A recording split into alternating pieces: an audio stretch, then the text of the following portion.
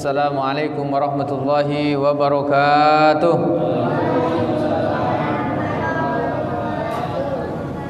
Alhamdulillah Alhamdulillahi bi ni'matihi tatimmus solihat. Asyhadu an la ilaha illallah wa asyhadu anna Muhammadan abduhu wa rasuluh. La nabiyya wa la rasula ba'dah. Allahumma salli ala sayyidina Muhammad wa ala alihi wa sahbihi wa man sara ala nahjihi ila yaumil qiyamah amma ba'd. Hadirin hadirat bapak-bapak dan ibu-ibu yang dimuliakan Allah Subhanahu wa taala. Alhamdulillah wa syukurillah pada malam hari ini Allah Subhanahu wa taala kembali mempertemukan kita dalam majlis ilmu, majlis yang insya-Allah akan diberkahi dan dimuliakan oleh Allah Subhanahu wa taala. Bahkan mudah-mudahan kita bermunajat kepada Allah mudah-mudahan kita yang berada di majlis ini diampuni dosa-dosa kita oleh Allah Subhanahu wa taala. Hadirin hadirat yang berbahagia, malam hari ini kita akan melanjutkan kajian fikih. Sebelumnya kita telah membahas tentang bagaimana takbiratul ihram sudah. Kemudian tata cara ruku sudah, iktidal sudah, kemudian ya tasyahud juga ya sujud ya. Sujud sudah.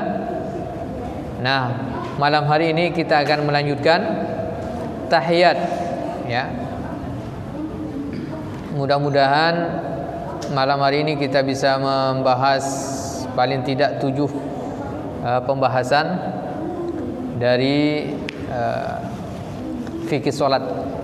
Kita mulai dengan uh, tahiyat ya. Tahiyat akhir ya. atau tasyahud. Ya. biasanya istilahnya bisa dengan tasyahud atau ya tahiyat. Taib. Pembahasan pertama. Bagaimana bacaan dari tasyahud. Bacaan dari tasyahud. Dahulu sebelum diajari tasyahud dari dalam solat para sahabat itu senantiasa mengucapkan dalam tasyahudnya apa? Assalamu ala Allah assalamu ala Jibril wa Mikail. Assalamu ala fulan wa fulan. Nah, itu yang apa doa yang sering dipanjatkan oleh para sahabat suatu hari Nabi menghadap para sahabat lalu mengatakan La taqulu assalamu ala Allah fa innallaha huwa assalam. Lalu Nabi mengatakan jangan kalian mengatakan lagi dalam tahiyat apa? Assalamu ala Allah. Tapi apa kenapa tidak boleh? Karena Allah itu assalam. Karena Allah assalam. Apa assalam? Yang memberikan keselamatan. Jangan mendoakan Allah Nah, itu ya. Lalu diajari oleh Rasulullah dan ini ada di dalam hadis Bukhari nomor hadis 831.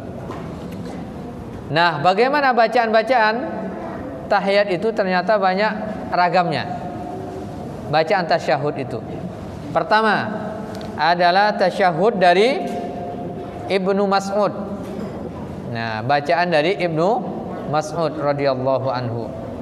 Ini ada dalam Sahih Bukhari Nomor hadis 831 dan hadis riwayat Muslim nomor hadis 895. Apa bacanya ketika tahiyat? At-tahiyatu was-salawatu wat-tayyibatu. Assalamu alayka ayyuhan nabiyyu wa rahmatullahi wa barakatuh. Assalamu alayna wa ala ibadillahis salihin. Ashhadu an la ilaha illallah wa ashhadu anna Muhammadan abduhu wa rasuluh. Nah, ini bacaan tasyahud yang pertama. Hadis ini sahih. Bacaan yang kedua adalah tasyahud Ibnu Mas eh, Ibnu Abbas. Menurut Imam Asy-Syafi'i rahimahullah, tasyahud ini paling beliau senangi karena paling sempurna. Meski demikian, ya beliau ini tidak mempermasalahkan orang lain yang mengamalkan tasyahud selain dari ya tasyahudnya Ibnu Abbas ini. Apa bacaannya? Adalah at-tahiyatul mubarakatus sholawatut thayyibatu lillah. Assalamu alayka ayyuhan nabiyyu wa rahmatullahi wa barakatuh. Assalamu alayna wa ala ibadillahis salihin. Asyhadu an la ilaha illallah wa asyhadu anna Muhammadan rasulullah. Ini yang sering kita hafal ya. Ini hadis yang diriwayatkan oleh Imam Muslim nomor hadis 900 ya Taib. Bacaan tasyahud yang ketiga adalah tasyahudnya Abu Musa Al-Ash'ari. Apa bacanya? Bacaannya At-tahiyatut tayyibatu As-salawatu lillah Assalamu alayka ayyuhan nabiyyu wa rahmatullahi wa barakatuh. Assalamu alayna wa ala ibadillahi salihin. Ashhadu an la ilaha illallah wa ashhadu anna Muhammadan abduhu wa rasuluh. Ada beda sedikit saja. Ini nomor hadis hadis riwayat Muslim nomor hadis 902. Ya. Mirip-mirip. Tapi yang ini tidak ada al-mubarakatuhnya tidak ada. Lalu yang keempat ada bacaan tasyahud dari Ibnu Umar radhiyallahu an. Apa bacanya? Bacaannya At-tahiyatu salawatu tayyibatu Assalamu alayka ayyuhan nabiyyu wa rahmatullahi wa barakatuh. Assalamu alayna wa ala ibadillahi salihin. Ashhadu an la ilaha illallah wahdahu la syarikalah wa ashhadu anna Muhammadan abduhu wa rasuluh. Ini terdapat dalam hadis Abu Daud nomor hadis 971. Banyak ya bacaan tasyahud ini. Yang kelima, masih ada lagi. Tasyahudnya yang sering dibaca oleh Umar Ibnu Khattab radhiyallahu anhu. Apa bacaannya? At-tahiyatu lillah Az-zakiyatu lillahi at-tayyibat As-salawatu lillah Assalamu alayka ayyuhan nabi wa rahmatullahi wa barakatuh. Assalamu alayna wa ala ibadillahi salihin. Ashhadu an la ilaha illallah wa ashhadu anna Muhammadan abduhu wa rasuluh. Ini terdapat dalam hadis riwayat Imam Malik dalam kitab Al-Muwatta nomor hadis 207. Yang keenam, adalah bacaan tasyahud dari Aisyah radhiyallahu anha. Apa bacaannya? At-tahiyatu at-thayyibatu as-salawatu az-zakiyatu lillahi asyhadu an la ilaha illallah wahdahu la syarikalah wa asyhadu anna Muhammadan abduhu wa rasuluh. Assalamu alayka ayyuhan nabiy wa rahmatullahi wa barakatuh. Assalamu alayna wa ala ibadillahi salihin. Assalamu alaikum. Sampai di situ aja. Hadis riwayat Imam Malik dalam kitab Muwatta nomor hadis 209. Nah, ini paling tidak ada enam macam bacaan dalam tasyahud atau bacaan tahiyat. Nah, ini mana yang kita pilih? Yang kita pilih boleh pilih yang mana saja. Karena apa? Semuanya ada hadisnya. Sahih. Yang bermasalah adalah kalau kita membaca cuma satu hadis. Lalu misalnya hadis yang populer riwayat Imam Muslim yang diriwayatkan oleh Imam Asy-Syafi'i misalnya. At-tahiyatul mubarakatuh shalawatu thayyibatu lillah. Assalamu ayyuhan nabiy wa rahmatullahi wa barakatuh. Assalamu alayna wa ala ibadillahi sholihin. Asyhadu an la ilaha illallah wa anna Muhammadar Rasulullah. Nah, kalau kita hanya membaca hadis itu lalu kemudian ya itu menjadi yang kita ambil tanpa mengetahui hadis-hadis yang lainnya maka kemudian berapa banyak orang yang kemudian kok bacaannya beda nah ketika bacaannya beda kemudian dikata wah ini tidak benar. ya. Nah, padahal ragamnya banyak. Maka tadi hadisnya banyak, Imam Syafi'i mengambil satu saja yang kemudian itulah yang menjadi pendapatnya. Dan ini yang berhak mengambil ini ambil istihad, oh ini yang dianggap lebih ya, yang lebih uh, apa? mendekati uh, pada kebenaran. Ini yang berhak melakukannya adalah mustahid. Ya. Berbeda kalau orang itu bukan mustahid. Apalagi kalau yang ya kalau kita ya sedikit menyimpang sedikit sekarang ini ya minggu-minggu ini ada ya orang yang pengen menjadi mustahid ya. Mustahid mutlak ya. Yang dia menulis disertasinya ya, melegalkan ya, intinya melegalkan perzinahan. Apa? Berhubungan laki-laki dan perempuan hukumnya halal. Dalilnya pakai milkul yamin. Hamba sahaya.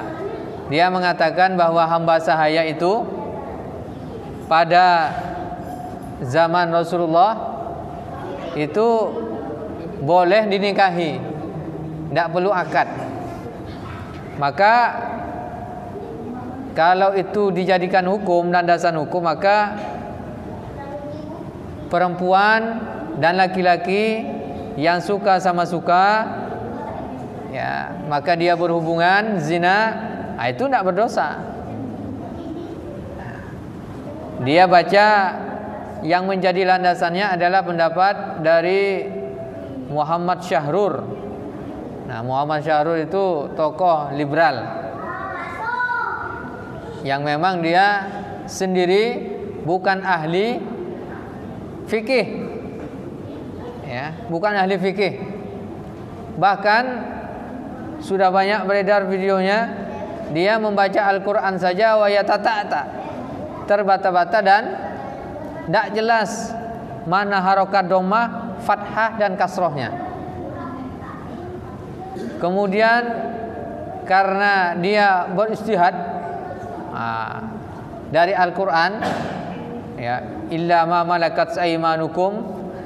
Nah kemudian dijadikan dasar di ya salah satu perguruan tinggi Islam. Ya. Dan ini sangat ironis sekali.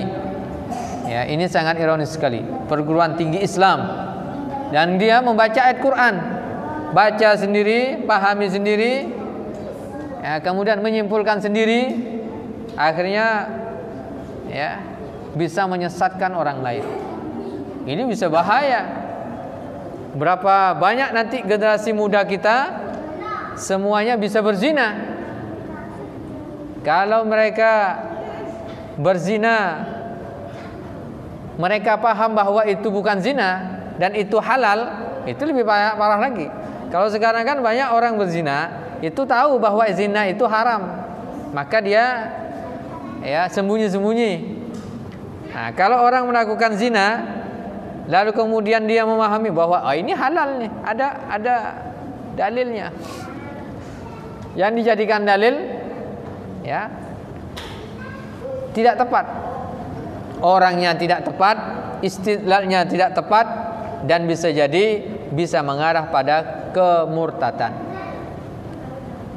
Nah, bagaimana kita sebagai maka ini pentingnya kita ya membaca dan memahami risalahnya atau pendapatnya para ulama mujtahidin dalam masalah hukum fikih. Karena kita tidak bisa apa namanya membaca sendiri dengan keterbatasan ilmu kita dan kita bukan seorang mujtahid lalu kemudian kita baca sendiri, pahami sendiri, beristihad sendiri, simpulkan sendiri. Nah, ini akibatnya. Ya. Taip, itu sedikit saja. Ya, sedikit agak menyimpan tapi ada ada sangkut pautnya dengan pembahasan kita. Nah, termasuk di dalam masalah tasyahud ini. Tasyahud ini ya, ada banyak ragamnya. Taib. Itu pembahasan pertama dalam tasyahud bahwa apa? Tasyahud itu bacaannya paling tidak ada enam macam. Yang kedua, bagaimana tata cara duduk tasyahud? Nah, tata cara duduknya sekarang. Pertama, menurut mazhab Hanafi, duduk tasyahud akhir adalah iftirash. Iftirash itu apa? Sama seperti tasyahud awal.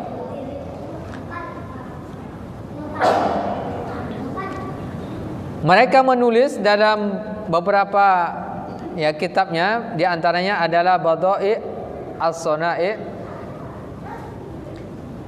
Beliau mengatakan bahwa amma kaifiyatuha fasunnatu ayyaftari syarijilatul yusra fil qadataini jami'an wa yaqudu 'alaiha wa yansibul yumna nasban.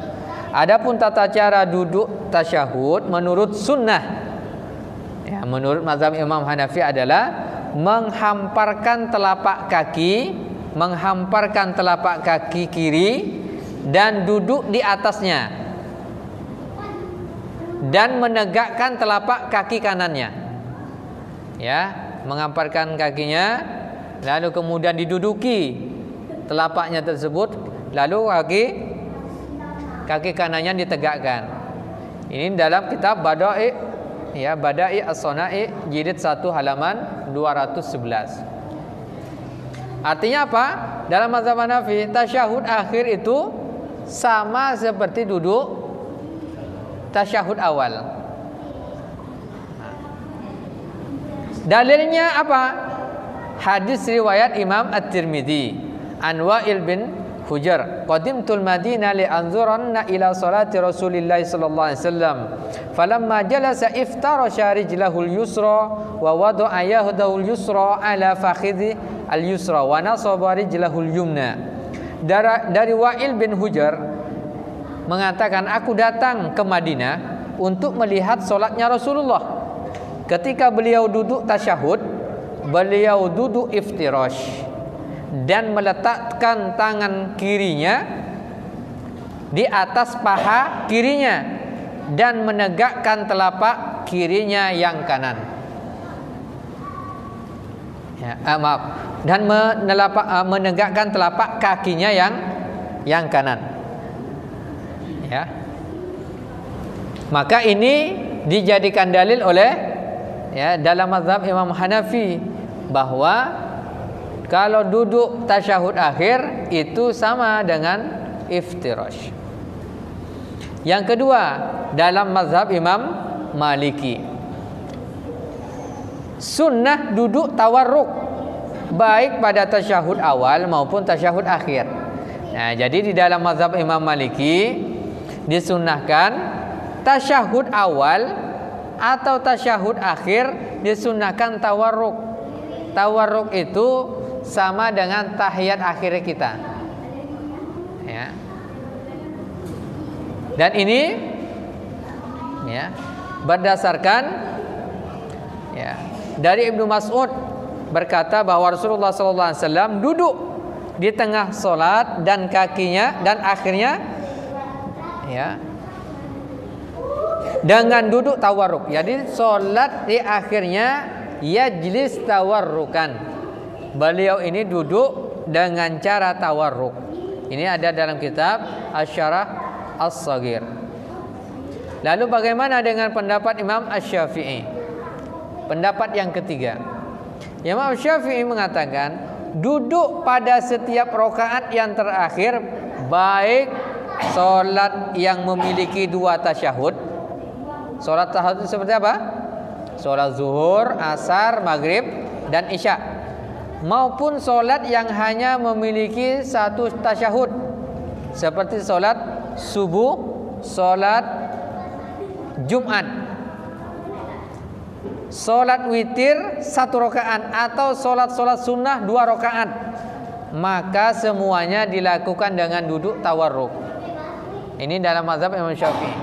Kalau sudah baik yang dua rakaat maupun yang tiga rakaat maupun yang empat rakaat semuanya kalau sudah tasyahud akhir dia duduk tawarruk. Ya. Pakai dalilnya apa? Hadis dari ya Muhammad bin Amr bin Atha annahu kana jalisan ma'a nafarin min ashabin Nabi sallallahu alaihi wasallam فذكرنا صلاة النبي صلى الله عليه وسلم فقال أبو حميد السعيد ya كنت أحفظكم لصلاة رسول الله صلى الله عليه وسلم رأيته إذا كبر جعل يديه ذا منكبيه وإذا ركع أمكن يديه من ركبتيه ثم هاصر ظهره فإذا رفع رأسه استوى hatta ya'uda kulla faqar makana fa idza sajada wada'a yadayhi ghaira muftarish wala qabidihima wastaqbala bi atrafi asabi'i rijlaihi al-qibla fa idza jalasa fi rak'ataini jalasa ala rijlihi al-yusra wa nasaba al-yumna wa qaddama al-yusra wa nasabal ukhra wa qa'ada ala maq'adatihi. Ini hadisnya agak panjang. Ya. Karena menjelaskan sejak Rasulullah memulai solatnya. Tetapi istishhad dari hadis ini adalah di penggalan akhirnya dan jika Rasulullah duduk pada rokaat terakhir maka beliau memasukkan kaki kirinya di bawah kaki kanannya dan menegakkan kaki kanannya dan beliau duduk pada tempat duduknya. Artinya apa? Ini adalah duduk tawarruk. Sama seperti kita tasyahud akhir itu. Ini diriwayatkan oleh Imam Bukhari nomor hadis 828.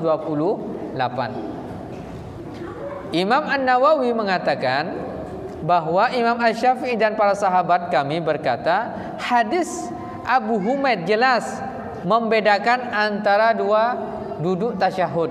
Mana tasyahud awal dan mana tasyahud akhir. Barang siapa yang meriwayatkan duduk tawarruk maka yang dimaksud adalah duduk tasyahud akhir.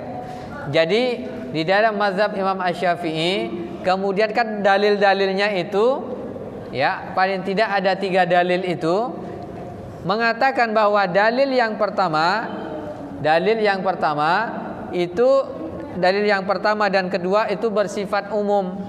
Yang tidak dijelaskan itu tasyahud awal atau tasyahud akhir. Maka kemudian Imam Syafi'i, Imam Syafi'i mengatakan bahwa dalil yang dipakainya ini hadis riwayat Imam Muslim ini Imam Bukhari ini maka ini adalah penghususan berarti sebenarnya hadis yang dua tadi bersifat umum itu bisa jadi adalah ketika Rasulullah tasyahud awal yang dilihatnya. Sedangkan yang ini adalah tasyahud tasyahud akhirnya. Maka kemudian uh, dalam mazhab Imam Syafi'i hadis-hadis itu tidak bertentangan tetapi apa? di al-jam'a, di jama' dikumpulkan kemudian diambil ya uh, tahlil Ya bagaimana kemudian dipahami bahwa oh ini adalah hadis penghususan. Nah, semacam itu. Maka itulah paling tidak bagaimana para ulama itu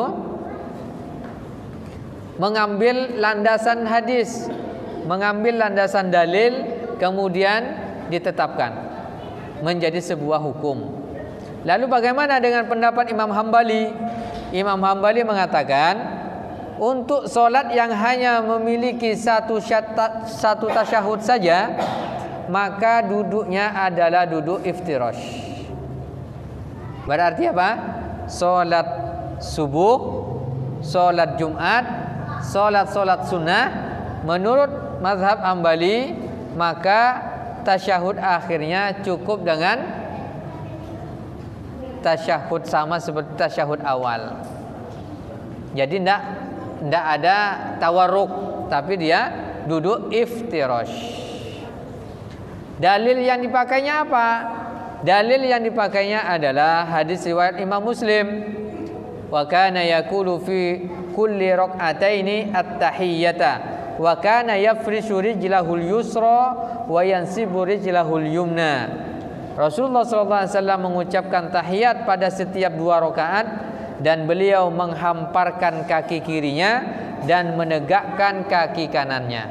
Hadis riwayat Imam Muslim. Ini yang dijadikan dalil dalam mazhab Imam Hambali bahwa kalau dia rokaatnya dua ya atau tiga yang memiliki ya dua ya sholat sunnah atau sholat yang wajib maka duduk tahiyat akhirnya dengan iftirash. Nah, artinya apa? Sebagaimana yang sebelumnya kami jelaskan bahwa solatnya itu sepakat semua ulama, tapi tata caranya berbeda. Perbedaannya itu bukan perbedaan ya para ulama dengan hawa nafsunya. Dia kemudian membuat pendapat sendiri tidak. Tapi dia berlandaskan berlandaskan dalil. Bisa jadi sahabat ini meriwayatkan hadis melihat Rasulullah ya suatu ketika melakukannya seperti itu. Tetapi di kesempatan yang lainnya dilihat oleh sahabat yang lainnya berbeda. Kemudian diriwayatkanlah hadis itu. Maka ikhtilaf di dalam fikih itu adalah sebuah keniscayaan. Ya. Maka tidak boleh dibenturkan mau ikut Nabi atau ikut ulama mazhab. Ya, tidak bisa dibenturkan seperti itu. Kenapa? Karena apa? Karena ulama mazhab itu ya mengambil sebuah dalil dari dalil-dalil yang ada. Nah, supaya menjadi pedoman bagi umat Islam. Taib, ini pembahasan yang kedua. Pembahasan yang ketiga dalam tasyahud ini. Perubahan ungkapan salam untuk Nabi. Sebagian sahabat meriwayatkan dengan assalamu ala nabi menggantikan assalamu alayka ayyuhan nabi. Di antara yang meriwayatkan demikian adalah Abdullah ibnu Mas'ud radhiyallahu anhu dalam Sahih Al Bukhari nomor hadis 6265. Beliau berkata, kami mengatakan saat Nabi Muhammad SAW masih hidup dalam tahiyatnya Assalamualaikum ayuhan Nabi karena Nabi masih hidup. Nah, ketika Nabi Muhammad sudah meninggal dunia, sudah wafat, maka beliau ganti dengan apa? Assalamu ala Nabi. Kenapa? Kalau karena beliau ini berpendapat karena assalamu alaika ya kalau Rasulullah masih hidup karena mukhotob tapi kalau sudah meninggal ganti assalamu ala nabi secara umum. Maka kemudian para ulama pun berbeda pendapat boleh tidak mengganti lafaz assalamu alaika hanya apa diganti dengan assalamu ala nabi. Nah, ini kemudian para ulama berbeda pendapat. Ada yang cukup tidak perlu dirubah tapi ada yang mengatakan ya dirubah karena apa? Abdullah bin Ibnu Mas'ud ya ini mengubah. Abdullah Ibnu Mas'ud ini termasuk ya sahabat Rasul yang banyak meriwayatkan hadis hadis Rasulullah sallallahu alaihi wasallam. Baik. Kemudian sekarang masuk pada pembahasan yang keempat. Dalam tasyahud kemudian kita setelah membaca bacaan tahiyat itu disunahkan pula membaca solawat. Solawat yang paling utama adalah solawat Ibrahimiyah yang ada assalamualaikum ayuhan nabi warahmatullahi wabarakatuh. Apa? Assalamualaikum ayuhan nabi warahmatullahi wabarakatuh. Assalamualaikum wa ala ibadillah sholihin asyhadu an la ilaha illallah asyhadu anna muhammad rasulullah. Allahumma sholli ala sayyidina muhammad atau allahumma sholli ala muhammad. Ya. Wa ala ali ibrahim. Nah ini pembahasan kita adalah ada kata sayyidinanya? Boleh tidak ada kata sayyidina dalam solawat Ibrahimiyah itu yang sering dibaca? Apakah ada kata sayyidina? Apakah dibolehkan menambah kata sayyidina dalam solawat di dalam tasyahud itu? Ternyata kalau kita baca referensi dari para ulama, para ulama fikih dari masa ke masa mereka sepakat ijma boleh mengucapkan sayyidina untuk Rasulullah. Bahkan yang lain bilang ya mengatakan bahwa di luar solat itu juga boleh ya. Artinya apa? Sepakat semuanya. Kalau di luar solat boleh menambah kata sayyidina. Bahkan di dalam azan pun boleh. Ada yang berpendapat boleh. Nah, mari kita lihat perbedaan pendapat di kalangan ulama.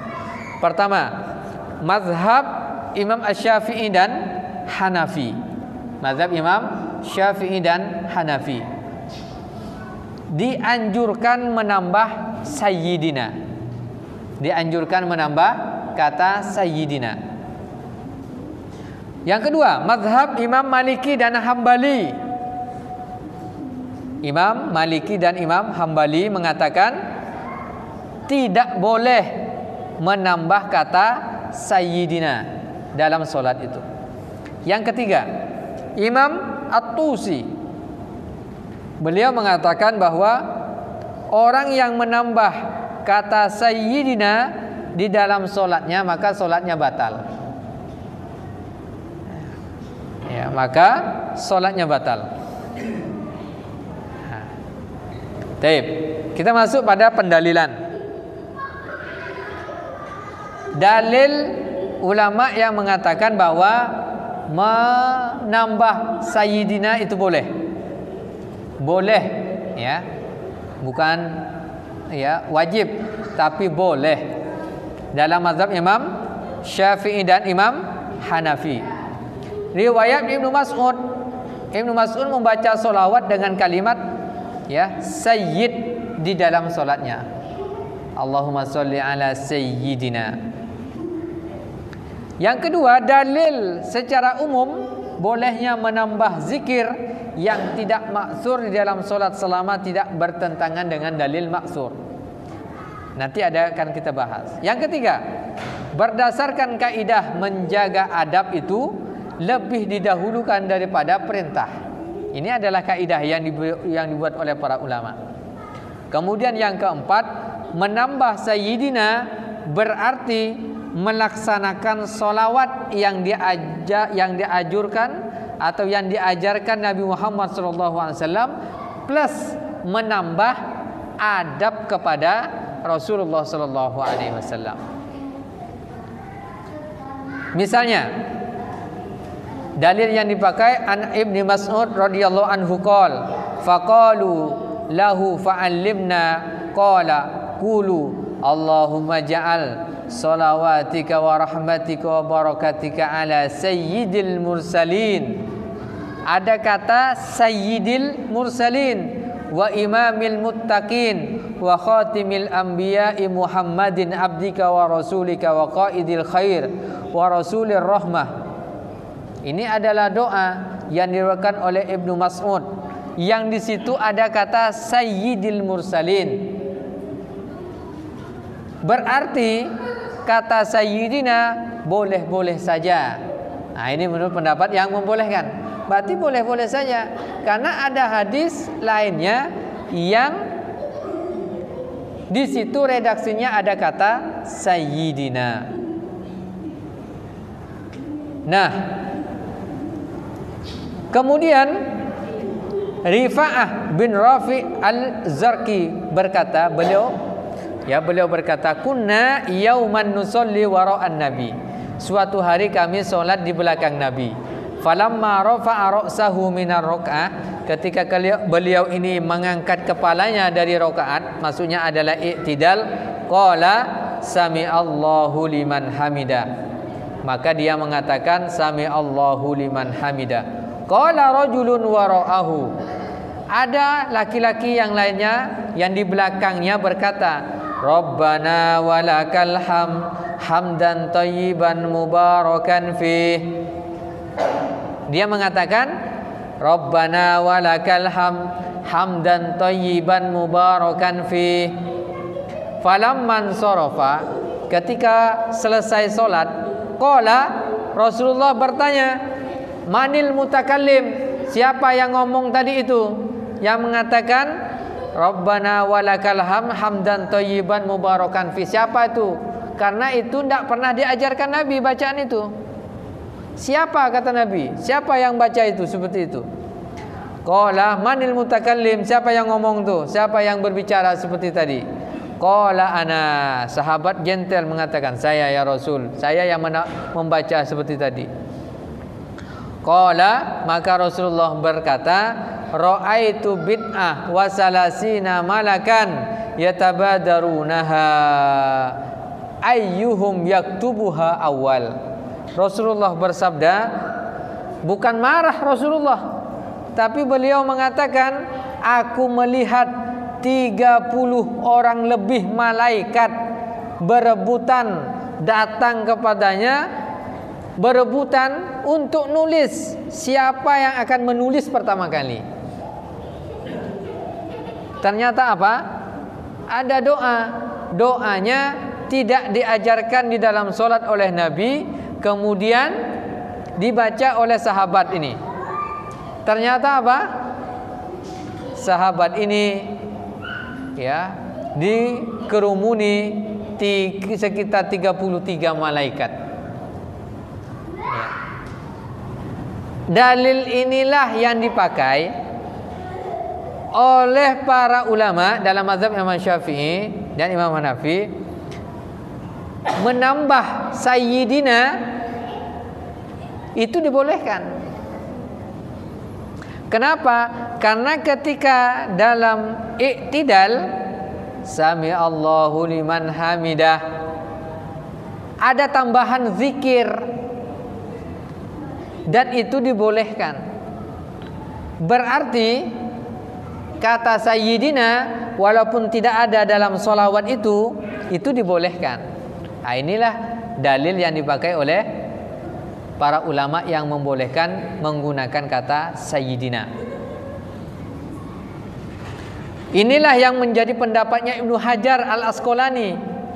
Beliau mengatakan dalam kitab Fathul Bari juz 2 halaman 287 wastudilla bihi.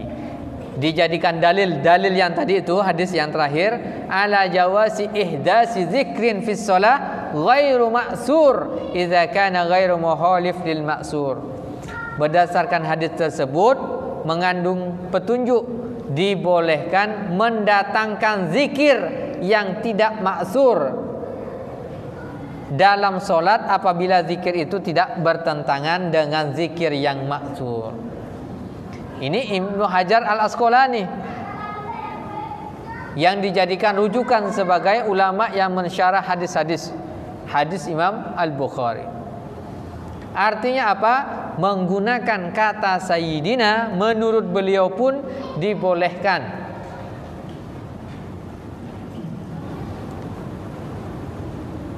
Nah, ikhwafillah azanu azukumullah. Masih banyak beberapa Dalil di antaranya adalah Rasulullah Shallallahu Alaihi Wasallam ketika mengajarkan solawat itu lalu tidak ditambah sayyidina bukan berarti tidak boleh. Kenapa? Sesuatu yang ditinggalkan oleh Nabi belum tentu belum tentu otomatis haram. Maka tergantung dari sifatnya nanti. Nah, ini dalil yang mengatakan boleh. Sekarang bagaimana dalil yang mengatakan tidak boleh menambah kata sayyidina? Paling tidak dua hal. Yang pertama tidak adanya riwayat yang sahih yang jelas dalilnya ada kata sayyidina. Solawatnya ada kata sayyidinanya. Nah, maka karena tidak ada solawat pakai Sayyidina maka tidak usah pakai. Nah semacam itu. Ini yang dijadikan dalil. Ya. Sudah masuk isya ya? Masya Allah. Ya. Eh Taib. Karena sudah masuk waktu isya kita akhiri pembahasan kita pada kesempatan yang berbahagia ini. Uh, tanya jawab ini bisa kita ya alokasikan di pekan depan insyaallah. Ini yang bisa disampaikan mudah-mudahan uh, bermanfaat bagi kita semuanya. Mohon maaf atas segala kehilafan. Kita akhiri dengan membaca hamdalah dan doa kafaratul majlis. Alhamdulillahirabbil alamin. Subhanakallahumma wa bihamdika asyhadu an la ilaha illa anta astaghfiruka wa ilaik. Assalamualaikum warahmatullahi wabarakatuh.